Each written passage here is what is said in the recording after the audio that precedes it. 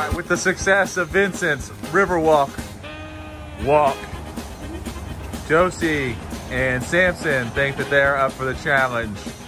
So today they're gonna show us how to get to the splash pad. All right, Sammy, where we start?